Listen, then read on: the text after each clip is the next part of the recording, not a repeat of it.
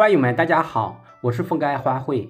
茉莉花开的花洁白如玉，清香宜人，经常是先闻其味，再见其花，深受花友的喜爱。想让它根系发达，叶片油绿，花期长，花量大，使用的盆土一定要疏松透气，不能板结，也不能积水，最好呢成为酸性。再就是为了保持它的活性，也就是在每年的花期分枝多、花量大，就需要每隔一到两年的时间给它换一次盆土。给茉莉花换土最佳的时间，一个是在花期前的春季，另一个就是在花期过后的秋季。今天我主要是想讲一下茉莉花换盆的方法以及盆土配置的比例。如果是在秋季换盆，温度呢一定要保持在十五度以上。要是你所在的地区平均温度低于十五度，那么就不建议现在换盆了。可以先参考一下我讲解的换盆方法以及盆土的配置比例，或者是把视频收藏一下，到了明年的春天再给它换盆。在给茉莉花换盆以前，最好要先给它修剪一下，这样就可以避免在换盆以后养分呢过多的消耗。今天需要换盆的这一棵是地栽的茉莉花，现在已经修剪完了，也挖出来了。严格的来说，应该叫上盆，而不应该叫换盆。但是在挖出来以后，它的操作方法跟换盆是一样的，没有任何的区别。因为有的花友，不管是刚刚买来的也好，还是自己原来养殖的也好，有很多都是使用这种粘性比较大的黄土来种植的。所以说，虽然这一棵是地栽的，但是呢，它的根系并不是特别的发达。不管是在春季也好，还是秋季也好，给它换盆时，最好不要裸根换盆，可以把原来的土球给它去掉一半，或者是三分之二，保留护心土。没有根系的位置，把土壤可以多去掉一点，只要是不伤到主根和那些比较粗一点的根系，就问题不大。要是有根系裸露在外面，也不需要给它剪掉。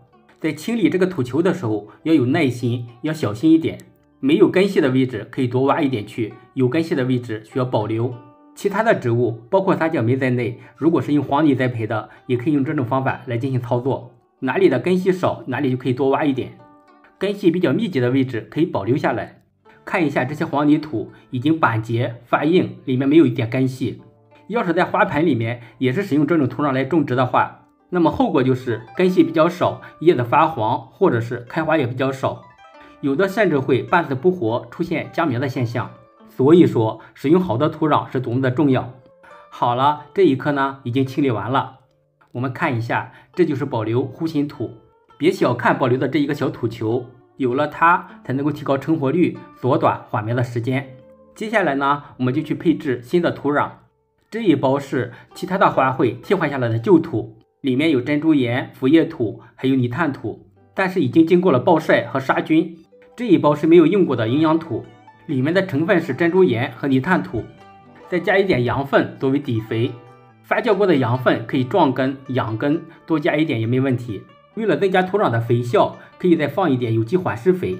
在给花卉，特别是木本植物配土的时候，千万不要嫌麻烦，因为只有盆土的透气性好了，肥力足了，后期呢才会长得比较壮、比较旺。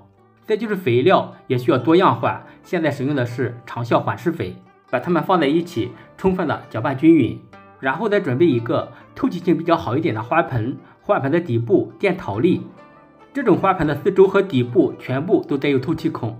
也就是我们所说的控干花盆，在陶粒上面再垫一层沥水网格，可以增加盆土的透气性，也避免土壤的流失。